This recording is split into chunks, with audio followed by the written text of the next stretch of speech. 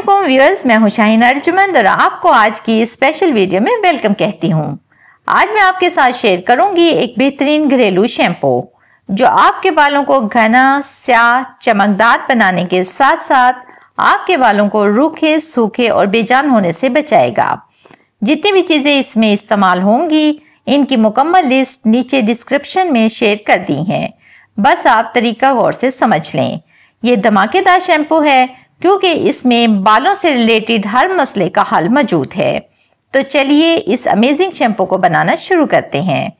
इसमें जो चीज़ें यूज़ करूँगी, वो आपको किसी भी स्टोर से आसानी से मिल जाएँगी। इनमें सबसे पहले शिकाकाई रीठा और आंवला है। ये बेसिक चीज़ें हैं। इनमें कुछ और चीज़ें भी ऐड करूँगी। इन चीज़ों को शामिल करते हुए हमें जिस बात का ख्याल रखना है, वो है इनकी मिकदार। बताई हुई सही मिकदार ही इसको बेहतरीन शैम्पू बनाएगी। ये है शिकाकाई इसमें बालों के लिए इसेंशियल न्यूट्रिएंट्स पाए जाते हैं, जो स्कैलप को ड्राई नहीं होने देता। इन शॉर्ट इसके बालों के लिए बहुत ज़्यादा फ़ायदे हैं। ये आपने लेना है 125 ग्राम। इसके बाद है आंवला। इसकी भी मकदार आपने लेनी है 125 ग्राम। आंवला बालों के तमाम प्रॉब्लम्स के लिए बहुत ज़्यादा बेनिफिशियल होते हैं। बस इससे हल्की सी ड्राइनेस आती है, लेकिन वो अगले ही दिन ठीक हो जाती है। और तीसरे नंबर पर है रीठा। ये एंटीबैक्टीरियल और एंटी फंगल प्रॉपर्टीज़ रखता है। सर को डेंड्रफ और बालों को कमज़ोर होने से बचाता है। बालों को सॉफ्ट और शाइनी लुक देता है। ये आपने लेना है 500 ग्राम, यानी आधा किलो।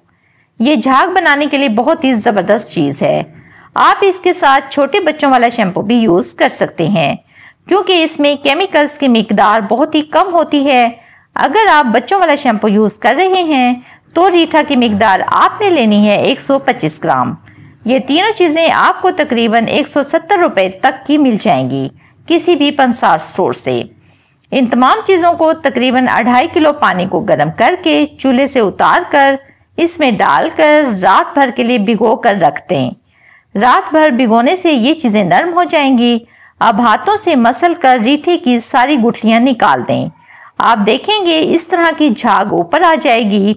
इसके बाद इसमें हम ऐड करेंगे 20 ग्राम इमली और 10 ग्राम बाल छड़।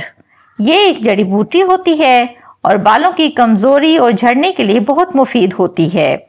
इसके बाद इसमें हम ऐड करेंगे मेथी दाना। तकरीबन दो चम्मच मेथी दाना बालों के लिए किसी गोहरे नयाब से कम नहीं। अब इस मिक्सचर को मिक्स करके 30 से 40 मिनट के लिए हल्की आँच पर चूल्हे पर पकाएँगे। जब तक ये चूल्हे पर पकेगा, हम कोई और काम कर लेते हैं।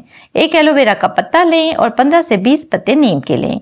एलोवेरा हम इसमें इसलिए शामिल कर रहे हैं कि यह आपके बालों को रूखा सूखा होने नहीं देगा और इनको नरिश भी रखेगा।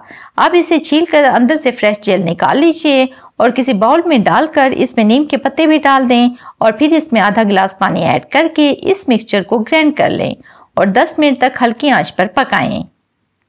एलोवेरा और नीम के पत्तों का ये मिक्सचर इस शैम्पू को और ज़रा दमदार बना देगा अब हमारा पहले वाला मिक्सचर पक कर तैयार हो चुका है इसे ठंडा करने के बाद हाथों की मदद से अच्छी तरह से मसल लें ताकि इसमें जो भी चीज़ें मिलाई गई हैं वो अच्छी तरह से मिक्स हो जाएँ। अब इसमें जो भी गुठलियाँ और फोग है वो अलग कर लें। आपको इसमें झाग भी बनती नज़र आ रही है। एक छलनी की मदद से छान कर इसको साफ़ बर्तन में निकाल लें। इसके बाद एलोवेरा और नीम के पत्तों का भी मिक्सचर पककर तैयार हो चुका है। वो भी छलनी की मदद से छान कर इसमें ऐड कर लें। लीजिए, आपका शैम्पू तकरीबन तैयार है। इसमें अच्छी खुशबू के लिए आप सफ़ेदे का तेल या चमेली का तेल ऐड कर सकते हैं। मैं यहाँ पर सफ़ेदे के तेल के चंद कतरे ऐड कर रही हूँ। अब हमारा शैम्पू बिल्कुल रेडी है। लगाना कैसे है, वो मैं आपको बताती हूँ। इसे किसी एयर टाइट बोतल में डालकर स्टोर कर लें और हिलाकर इस्तेमाल करें।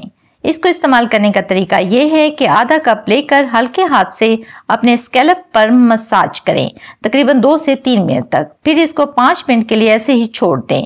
इसके बाद जब नहाने के लिए जाएँ तो बाल गीले करके स्केलप को अच्छी तरह से तर कर लें गीले बालों में मसाज करके इसको धो लें। मैं ये तो नहीं कहती कि ये साबन या शैम्पू जैसे वॉश करेगा, क्योंकि ये साबन नहीं है। लेकिन मैंने खुद तजर्बा करके देखा है कि ये आपके बालों से ऑयल को रिमूव कर देगा। और दूसरी बात यह है कि फौरी नहाने के बाद इसका असर नज़र नहीं आएगा। एक घंटे के बाद जब बाल अच्छी तरह से खुश्क हो जाएँगे तो इनकी शाइन और सॉफ्टनेस देखने से ताल्लुक रखती है। तब आप भी सोचेंगे, वाह, क्या बात है मेरे बालों की। सो so, व्यूअर्स अगर आपको अपने बालों को किसी बेहतरीन चीज़ से धोना चाहते हैं तो इससे बेहतर कोई चीज़ नहीं। अगर ज़्यादा झाग चाहिए तो जैसे कि मैंने आपको बताया है कि बच्चों वाला शैम्पू आप ऐड कर सकते हैं वरना इसमें ऑयल को रिमूव करने की मुकम्मल सलाहियत मौजूद है। तो उम्मीद करती हूँ आपको आज की वीडियो पसंद आई होगी। तो इसको लाइक ज़रूर कर दें चैनल को सब्सक्राइब कर दें बेल को आइकन को ज़रूर प्रेस कर दें ताकि आपको मेरी नेक्स्ट वीडियोस का नोटिफिकेशन मिल सके। दें इजाज़त। कल तक की एक नई वीडियो के साथ, तब तक के लिए अल्लाह हाफिज़।